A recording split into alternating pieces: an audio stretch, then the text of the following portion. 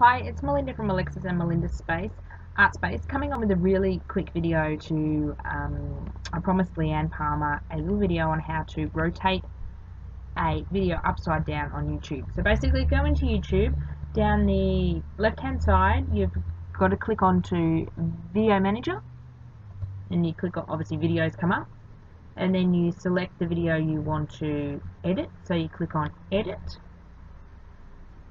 so this enables you to set up your camera if you can't get it up right, film right side up, you can film upside down and flip it around and that's how I film nearly 90% of my videos.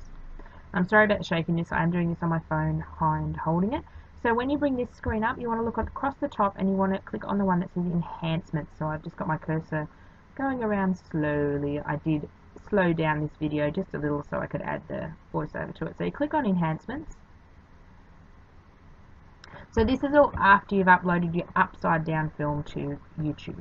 So you upload it as normal and you can either publish it to live and it will be upside down until you go and edit it or you can schedule it if you've got that on your option. So it brings up this screen here so you've got a big picture of your video and then over on the right hand side you've got all these gadgets here that you can make um, your video do different things. You can speed it up, you can slow it down, but just bear in mind, speeding up and slowing it down with the voice on it, well, speeding it up makes it sound like chipmunk, and slowing it down makes it sound horrible. So all we're going to do is these arrows down here will flip where I'm selecting. You can also trim it as well. The one next to it says, I believe it says trim.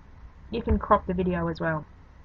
So basically you're going to get any of the arrows twice because they rotate it 90 degrees. So that one's on the side, we don't want that.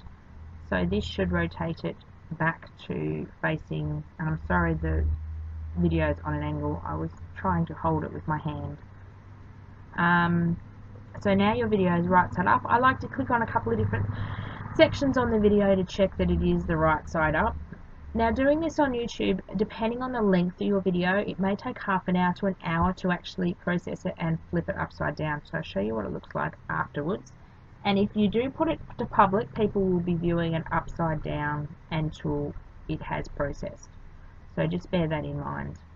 I schedule all my videos so I have got that um, extra feature on my YouTube. So I can put it to private, do this flipping, and then I can set it to public tomorrow, today, a week's time, a month's time.